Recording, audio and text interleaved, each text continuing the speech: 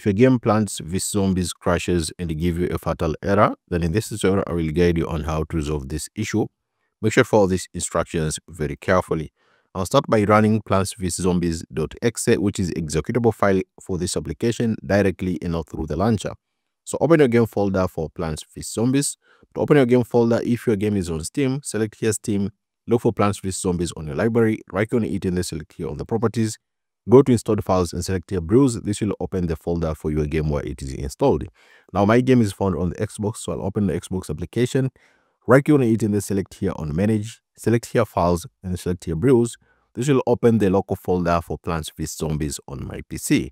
And also this section here, just either double click on each or the, the favorite one is just right click on it and then select here Run as Administrator. Then try to check if the problem has been resolved. Now if you have done so, but you're still facing again the same issue, now just try this. Run plants vs zombies.exe in compatibility mode. Choose Windows XP Service Pack 3 or Windows 7. So open your, your game has been installed just uh, like I show you. And then make sure to run the game in compatibility mode. And then choose Windows XP Service Pack 3 or Windows 7. So let me show you. Here's my game. Break on it in the select here on Manage. Select your files and select your brews to open the folder for your game. Now here's Plants vs Zombies. Just right on the game and then select here all the properties Select here on the compatibility tab and make sure to check this run this program in compatibility mode. Either choose Windows 7 or Windows XP Service Pack 3. So you can either choose either Windows XP Service Pack 3 or Windows 7. Then try to relaunch, click apply to save changes. Then click OK, then try to relaunch the game and check if your problem has been fixed. If you're still facing again the same issue, now try this. Verify your game files. Now if your game is on Steam, which many of people have the game on Steam, just open Steam Go to your Steam library, look for Plants vs Zombies, right click on a game and then select here on the properties. Go to installed files and make sure to select here verify integrity of your game files. After the verification is over, then try to check if the issue has been fixed. Now if you've done so but you're still facing again the fatal error, now try this. Disable mods or patches. If you're using mods like Plants vs Zombies mods, trainers or cracked versions, remove them. The Steam version doesn't play well with all the patches or modified files. So you can try to remove mods and patches. If you're using mods like PVZ mods, trainers or cracked versions, remove them. The Steam version doesn't play well with all the patches or modified files. Also, you can try this on your Steam launch option. So if your game is on Steam, make sure to open Steam. Select here on the Plants vs Zombies. Select here on the properties. Go to installed files and initially an option. Go to the general tab here.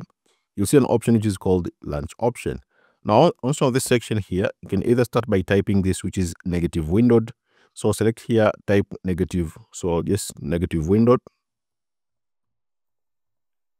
And then try to relaunch the game and check if the issue has been resolved. If you're still facing again the same problem, try typing this, which is negative W or negative X res 800 and then negative Y res 600. So if it hasn't fixed your issue, just remove this Steam launch option and then try to follow the steps here.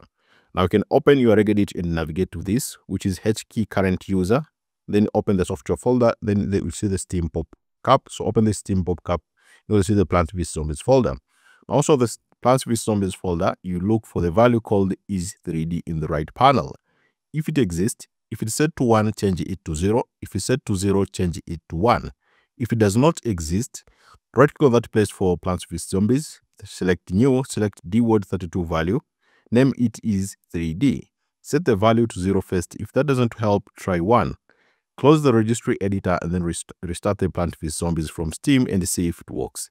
Basically, is 3D is equals to 1. PVZ, which is Plants vs Zombies, uses hardware acceleration. Is 3D is equals to 0. Plants vs Zombies uses software rendering less crash prone on modern PCs. So you can just open the Regedit. To open the Regedit, just press Window plus R type this, which is Regedit, and then click OK. This will open the registry editor. Now you just need to navigate to this HKey current user. So select HKey current user, and then you just follow the instruction here, which is HKey current user, and then see the software. So HKey current user, and then you see the software folder. Here's the software folder. Click on it to reveal the software folder, and then follow the instruction here, software folder. Look for the Steam PopCap, then go to Plants vs Zombies. Check or create the key. Look for a value called is 3D on the right panel. If it exists, if set to 1, set change it to 0. If you set to 0, change it to 1.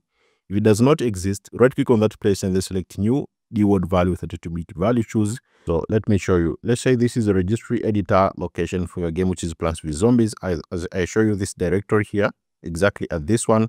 So let's say this is a registry editor. Just right click on it and then select here new. Then it's an option to say DWORD 32-bit value. So make sure to select this DWORD 32-bit value and then follow which is just name it is 3D, set the value to 0 first. If that doesn't help, try 1, close the registry editor, then restart the PVZ on your Steam Launch op on your Steam and this can help you resolve this fatal error. So thank you so much for watching this video. I hope this story has helped you and see you next time.